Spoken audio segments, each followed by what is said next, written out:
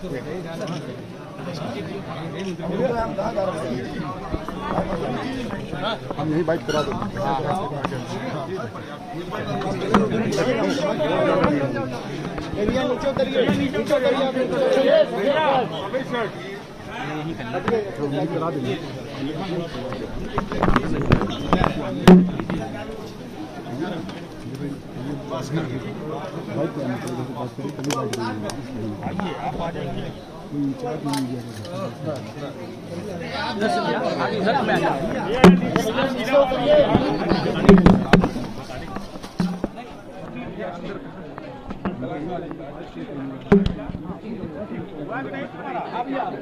के पश्चात, काल भैरव जी के दर्शन के पश्चात और आशीर्वाद लेने के बाद यहाँ एक रस्म है कि प्रसाद के रूप में यहाँ की कचौड़ी लेते हैं। तो मुझे यहाँ वो भी लेने का सौभाग्य हमारे कार्यकर्ताओं ने दिया है।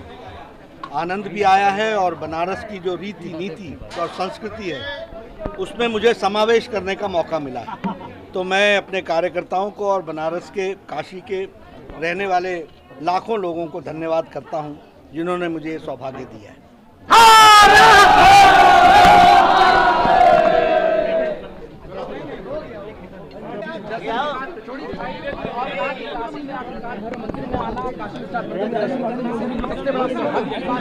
और इसके साथ ही उन्होंने ये भी कहा कि यहाँ पर मुझे कचौड़ी खाने भैया धक्का मत दीजिए। भैया धक्का मत दीजिए। धक्का मत दीजिए।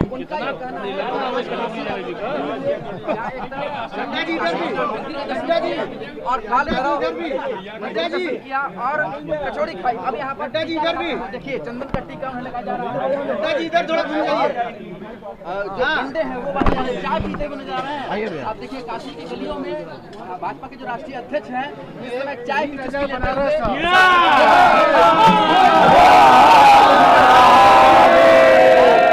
मंत्री रविंद्र जायसवाल हैं तो काशी की गलियों में चाय जब भी पीते हुए नज़र आ रहे हैं।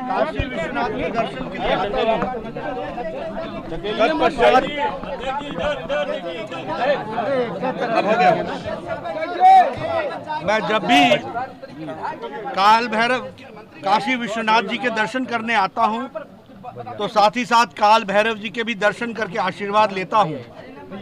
इस बार भी मुझे ये सौभाग्य मिला और मुझे आशीर्वाद काल भैरव जी का और पहले काशी विश्वनाथ जी का मिला है, जो मैं आशीर्वाद संजो कर सभी कार्यकर्ताओं के साथ, करोड़ों कार्यकर्ताओं के साथ भारत की सेवा में और आदरणीय प्रधानमंत्री श्री नरेंद्र मोदी जी के द्वारा जो नीतियाँ चल रही हैं, उनको जन जन तक पहुँचाने का संकल्प लिया है और काशी विश्वनाथ जी के आशीर्वाद से उसको हम पूरा करेंगे। हम सब लोग जानते हैं कि काल भैरव जी के परिसर पर बाहर आकर हमेशा मैं प्रसाद के रूप में यहाँ हमारे कार्यकर्ता मुझे कचौड़ी भी खिलाते हैं और चाय भी पिलाते हैं। तो आज भी मुझे यहाँ आने का आने का सौभाग्य मिला। कार्यकर्ताओं ने फिर से कहा। तो ये एक तरीके से बार बार जब मैं आता हूँ तो हमारे को याद दिलाते हैं कि आप यहाँ चाय पीते हैं। तो इस बार भी मैं जब आया हूँ तो मैं मुझे ये सौभाग्य मिला है हमारे हज़ारों कार्यकर्ताओं के साथ ये चाय पीने का। और इससे भी मैं स्फूर्ति लेकर के